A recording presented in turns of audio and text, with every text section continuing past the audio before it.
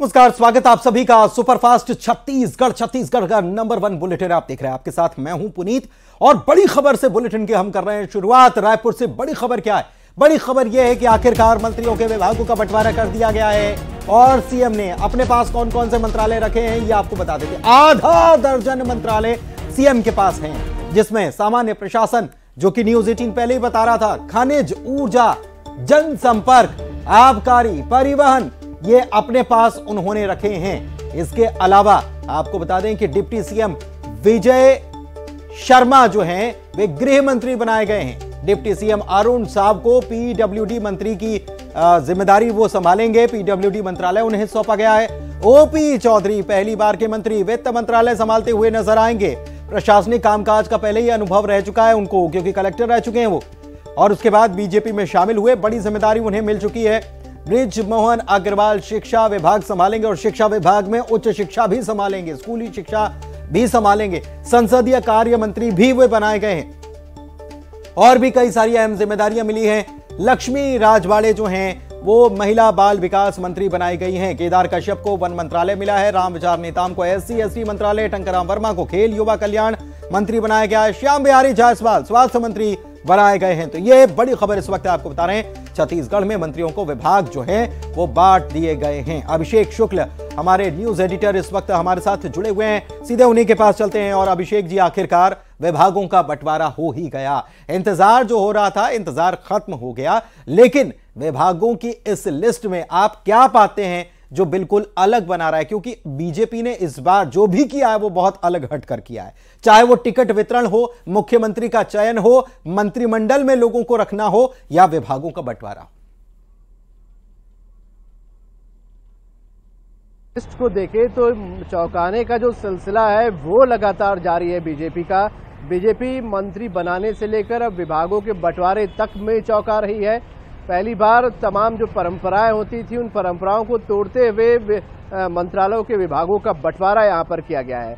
आमतौर पे छत्तीसगढ़ में ज़्यादातर कार्यकाल में आप देखेंगे जो वित्त मंत्रालय है या फिर गृह मंत्रालय है गृह मंत्रालय की बात करें तो गृह मंत्रालय आदिवासी जो है नेता के तौर पर कम से कम भाजपा में तो रहा ही है, अब तक कोई आदिवासी जो होता था, वो गृह मंत्रालय संभालता था।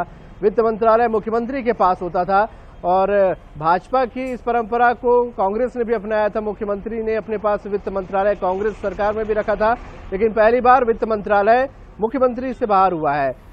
काफ़ी सालों बाद 2003 में ऐसा हुआ था। कुछ समय के लिए अमर अग्रवाल वित्त मंत्री बने थे लेकिन उसके बाद फिर वित्त मंत्रालय रमन सिंह ने अपने पास ले लिया था। अब वित्त मंत्रालय ओपी चौधरी के पास गया है।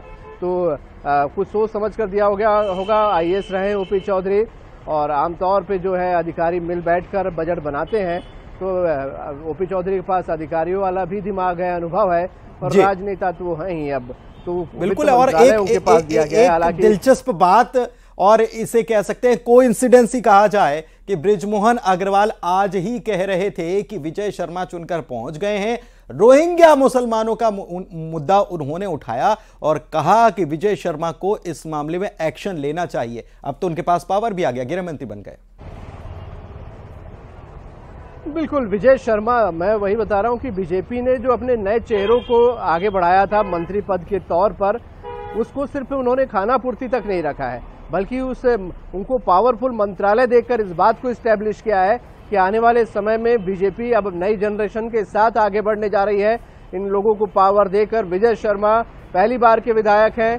गृह मंत्रालय उनको यहाँ पर दिया गया है और काफ़ी एग्रेसिव मंत्री भी माने जाते हैं, काफ़ी एग्रेसिव नेता भी हैं और हिंदुत्व का चेहरा रहे हैं बीजेपी का। तो आप समझ सकते हैं, गृह मंत्रालय अगर उनको यहाँ पर दिया गया है तो उम्मीद भी की जा रही होगी कि उसी एग्रेशन के साथ लॉ एंड ऑर्डर को वो काबू में करेंगे और जो तमाम एजेंडे भाजपा जी। तमाम एजेंडे जो बीजेपी के हैं, उसको पूरा करने का भी काम वो करने वाले हैं। बिल्कुल, ये बात आप बिल्कुल सही कह रहे हैं कि ये इसी तेज तर्रार छवि को देख करके, हिंदूवादी छवि को देख करके ही विजय शर्मा को ये अहम ज़िम्मेदारी सौंपी गई है। इसके अलावा आप और क्या इसमें बदलाव देखते हैं या इस लिस्ट में और क्या चौंकाने वाला नज़र आ रहा है? अभिषेक जी।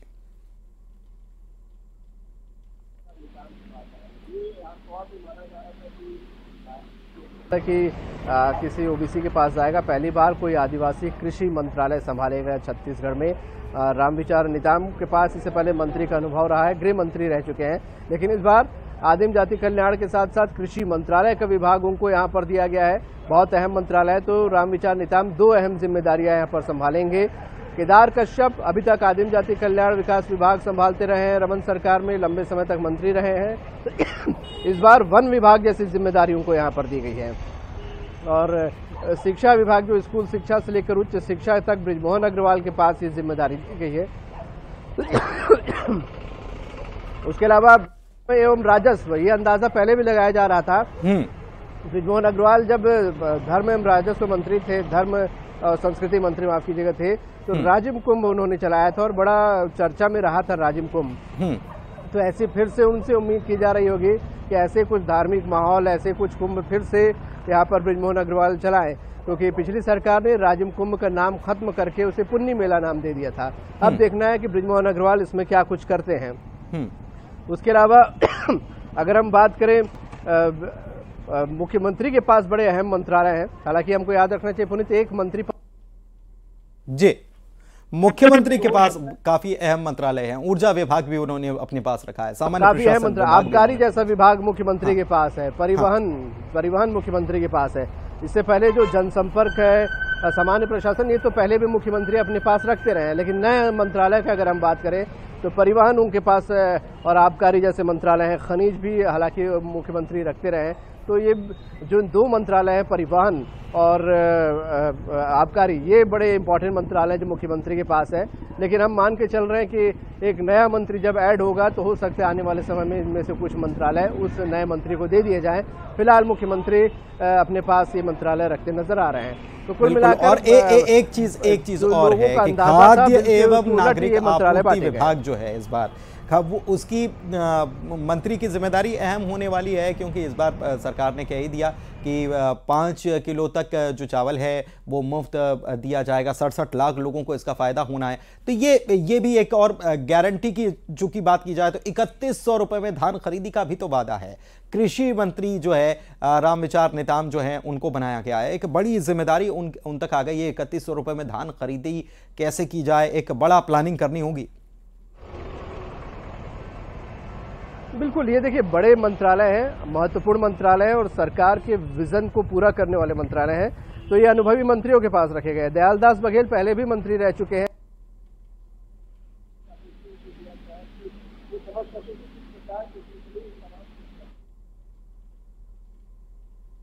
उसके अलावा रामविचार निज़ाम भी पहले भी मंत्री रह चुके हैं तो कृषि मंत्रालय इसलिए उनके पास दिया गया आदिम जाति कल्याण विभाग उनको दिया गया है। ताकि अपने अनुभव का लाभ वो सरकार को दे सकें। राज्यसभा सांसद और तमाम महत्वपूर्ण पदों पर पार्टी में भी रह चुके हैं राम विचार निज़ाम तो प्रशासनिक अनुभव भी उनके पास है। तो जो सीनियर मंत्री हैं उनको ऐसा नहीं कि अछूता छोड़ दिया गया उनके पास भी बहुत अहम मंत्रालय दिए गए हैं और ये अहम मंत्रालय टेक्निकली बहुत अहम है अपने आप में आप समझ सकते हैं। हम्म। उच्च शिक्षा अगर ब्रिजमोहन अग्रवाल के पास है तो ब्रिजमोहन अग्रवाल वरिष्ठ मंत्री हैं काफ़ी अनुभव रखते हैं। उच्च शिक्षा और स्कूली शिक्षा बहुत महत्वपूर्ण होते हैं। उनको किस तरीके से आगे बढ़ाना है, उसमें क्या सिस्टम होना चाहिए, ये समझते हैं। इसलिए मंत्रालय उनके पास रखा गया है। रामविचार नेताम के पास दयालदाल बघेल के पास भी हम, जैसे मैं बता रहा हूँ कि टेक्निकली बहुत महत्वपूर्ण मंत्रालय है और सरकार निचले स्तर पर आखिरी व्यक्ति तक पहुँचे कैसे और उस सिस्टम को सही तरीके से आगे कैसे बढ़ाया जाए, ये मंत्री यहाँ पर इस काम को बखूबी कर सकते हैं। तो वरिष्ठों को भी बहुत अहम मंत्रालय यहाँ पर दिया गया है। लेकिन जो चौंकाने वाली चीज़ें हैं, जो सरकार एग्रेसिवली जहाँ पर जिन मुद्दों पर आगे बढ़ना चाहती है, वो मंत्रालय बिल्कुल ऐसे चेहरे ढूंढ कर दिए गए हैं। जैसे विजय शर्मा को गृह एवं जेल मंत्रालय दिया गया है तो विजय शर्मा एग्रेसिव है काफ़ी। और जो कवर्धा में विवाद हुआ था आपको बता दूँ पुनित तो तीन महीने लगभग विजय शर्मा जेल में भी रहे थे उस समय उनको हम्म। जेल में भी रखा गया था तो तब भी उसके बाद वो काफ़ी चर्चा में आए थे। अब वो उसी विभाग के प्रमुख हो गए हैं यहाँ पर तो ये बड़ा दिलचस्प चीज़ यहाँ पर है। बिल्कुल ये बड़ी दिलचस्प बात हो जाती है और एक चीज़ और है आ, अगर हम वित्त मंत्री की बात की जाए की जाए तो ओपी चौधरी अब वित्त मंत्री बन चुके हैं। इसके साथ ही उनके जो साथ वाले विभाग है इस बार दिलचस्प ये भी देखने को मिला है कि विभाग दूसरा विभाग जो मिला है वो भी एसोसिएटेड ही हम कह सकते हैं। जैसे विजय शर्मा को जो मिला है वो तो है ही। लेकिन दूसरे आ, जैसे आ, समाज कल्याण विभाग और साथ ही साथ लक्ष्मी रजवाड़े को महिला एवं बाल विकास विभाग मिला है। तो ये चीज़ें भी एक साथ मतलब इस इसका ध्यान रखा गया है कि सब साथ में आ, जो है विभाग जोड़ दिए जाएँ ताकि मंत्री को काम करने में आसानी हो। देखिए एक्चुअली बहुत सी चीज़ें जो लोगों को पता भी नहीं ओपी चौधरी को लोग आईएएस के तौर पे जानते हैं लेकिन फाइनेंशियल मैनेजमेंट के में बड़ी महारत हासिल है ओपी चौधरी को ये कम लोग जानते हैं। ओपी चौधरी फाइनेंशियली एडवाइस भी करते रहे लोगों को। हम्म। आ, कई बार मेरी भी जब उनसे चर्चा हुई है तो फाइनेंशियली एडवाइस वो मुझे देते आए मार्केट की बड़ी अच्छी उनको समझ है और वो नए लोगों को अच्छे जानकार लोगों को एडवाइस भी देते रहे और खुद भी अच्छा इन्वेस्टमेंट करते रहे हम्म। पी चौधरी इस मामले में अनाड़ी नहीं है बल्कि महारत है उनकी विशेषज्ञता है फाइनेंशियल हम्म। मामलों पर तो हम्म। ये बात बिल्कुल बिल्कुल उनकी महारत हासिल है और इसीलिए इसीलिए जो है आ, उनको ये महती ज़िम्मेदारी सौंपी गई है क्योंकि इसके पहले परंपरा जो रही है मुख्यमंत्री अपने पास ही ये वित्त विभाग रखा करते थे। हमारे एडिटर जो है अभिषेक जी वो भी लगातार बता रहे हैं कि चाहे वो डॉक्टर रमन सिंह की बात हो आ, उन्होंने पंद्रह साल शासन किया और फिर चाहे वो बात क्यों भूपेश बघेल की क्यों ना हो आकाश हमारे साथ हमारे संवाददाता जुड़े हुए हैं और उनके साथ पद मिले हैं स्कूल शिक्षा और धर्म समाज जैसे पद। निश्चित रूप से छत्तीसगढ़ के सरकारी कर्मचारी लगभग आठ लाख हैं।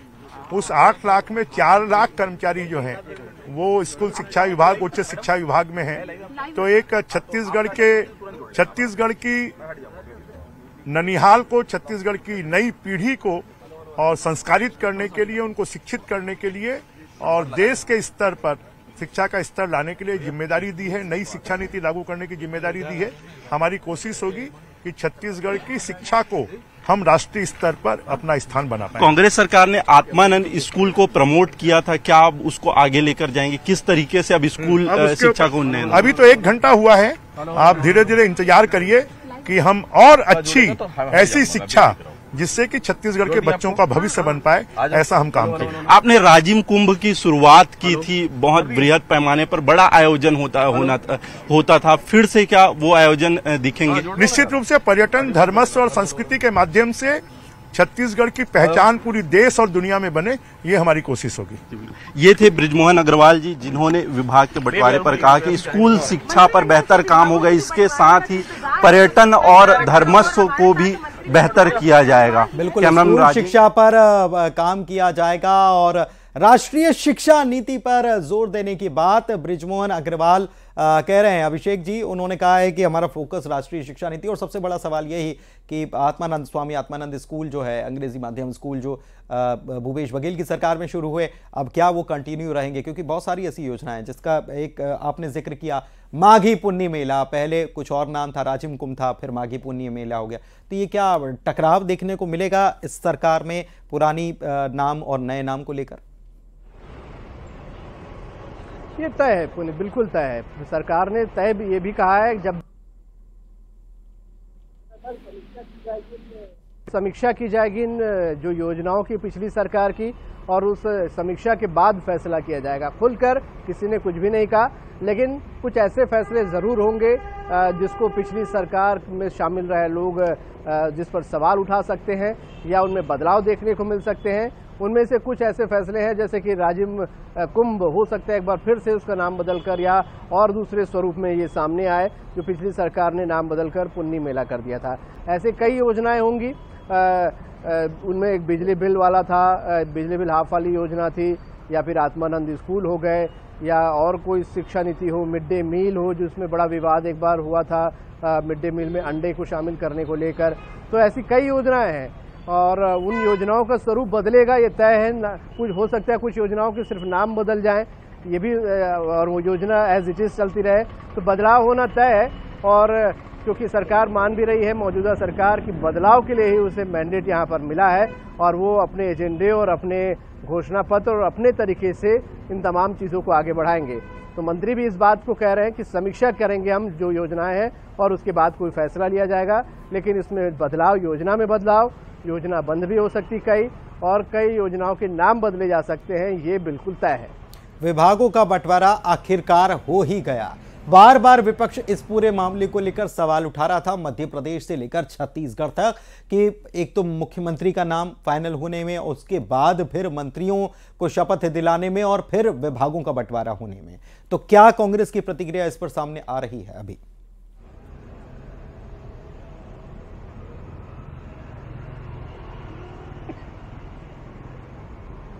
अभिषेक जी। जी जी पुनित ये सवाल मुझसे था।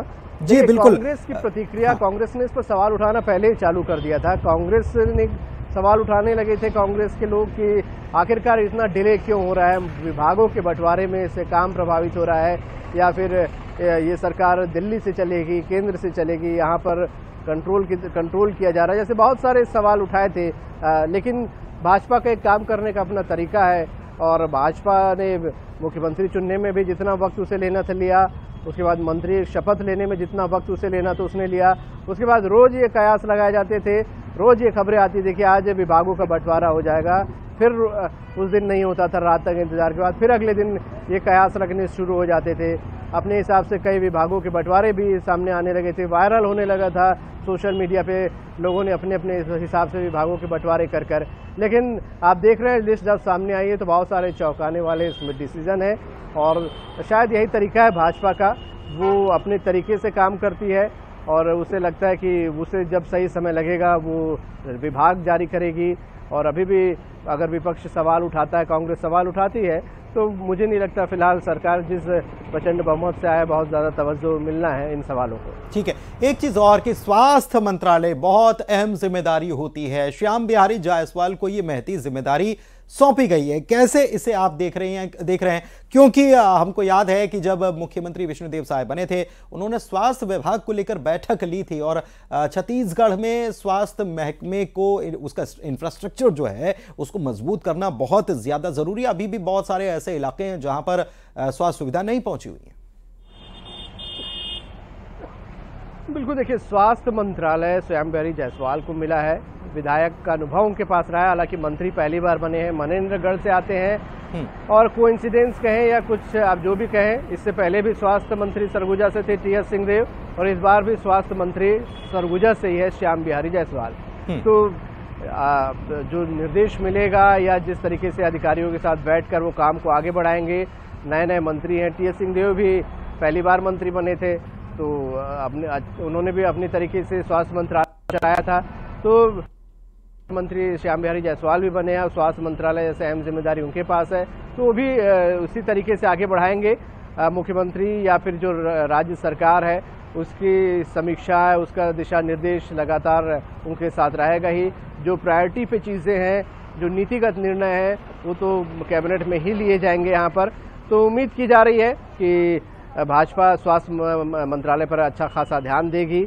और कई अहम निर्णय जो उसने लेने की बात कही है उन निर्णयों पर वो ध्यान देगी केंद्र की कई योजनाएँ थी जैसे कि आयुष्मान भारत योजना जिसमें कई गड़बड़ियाँ सामने आई थी बार बार हम्म। फर्जीवाड़े भाजपा ने इसे कहा भी था कि इसे कंट्रोल में किया जाएगा अब हम्म। उम्मीद की जानी चाहिए कि केंद्र और राज्य में एक ही सरकार है तो इसमें काम बहुत तेज़ी से होगा बिल्कुल। और एक बात और है कि हम ये देख रहे हैं कि तीन तीन जैसे कि आपने श्याम बिहारी जायसवाल का ज़िक्र किया, या फिर वित्त मंत्री की बात कर ली जाए ऊपी चौधरी की, या फिर विजय शर्मा की बात कर ली जाए, पहली बार के विधायक हैं, पहली बार के मंत्री हैं अहम जिम्मेदारियाँ मैती जिम्मेदारियाँ यहाँ पर दी जा रही हैं बीजेपी की तरफ़ से। क्या ये हम इसे ऐसे देख सकते हैं कि जो चीज़ें जनता को सीधे प्रभावित करती हों, सीधे ज़मीन पर जिनका असर नज़र आता हो, वो विभाग नए चेहरों को देना एक एक्सपेरिमेंट है, या इसे हम क्या कहें? आप बोल सकते हैं, बिल्कुल बोल सकते हैं कि डायरेक्ट पब्लिक से पब्लिक की रोज़मर्रा की जिंदगियों से जो चीज़ें कनेक्ट हैं उन चीज़ों को दिया गया है, इन नए चेहरों को, और जहाँ पर भाजपा को अपने नीति चाहिए, या समझिए जहाँ पर नए युवा जोश की ज़रूरत है, या वहाँ पर वो कुछ नया नए चाह रहे होंगे, नए आइडियाज़ के साथ लोग आए, नए तरीके से लोग काम करें, और यही शायद ये मंत्रालय सौंपते समय उनके ध्यान में होगा। इसीलिए जो नए मंत्रालय हैं, चाहे गृह विभाग हो, वित्त विभाग हो या फिर स्वास्थ्य मंत्रालय हो। महिला बाल विकास भी पहली बार की विधायक हैं लक्ष्मी हम्म। बड़े और उनको महिला बाल विकास मंत्रालय भी मिला है। तो पहली बार विधायक और पहली बार मंत्री वाली लिस्ट में वो भी हैं। सबसे हम्म। यंगेस्ट मंत्री हैं इकतीस साल की हैं। तो उनके ऊपर भी बड़ी ज़िम्मेदारी है। महिला वोटरों ने खासा भाजपा को इस बार बढ़ चढ़कर वोट दिया है। बहुत बड़ा योगदान रहा है। महिला वोटर ज़्यादा हैं पुरुष वोटर से। तो इकतीस साल की युवा मंत्री पर भी ये बड़ी ज़िम्मेदारी है महिला बाल विकास की। तो आप उसे भी ये देख सकते हैं कि वो बिल्कुल नहीं है। और दिशा निर्देश पार्टी ज़रूर मुझे लगता है एक सामूहिक निर्णय के तौर पे लेगी और निर्देशन अपने नए मंत्रियों को ज़रूर उनके सीनियर्स देते रहेंगे। चलिए बहुत शुक्रिया बहुत शुक्रिया आपका अभिषेक हमारे एडिटर हमारे साथ जुड़े हुए थे सीधे राजधानी रायपुर से। और एक प्रकार से उन्होंने बताया कि आखिर ये फैसले के पीछे जो है वो आखिर कारण क्या रहे हैं? क्यों ये अहम फैसले लिए गए?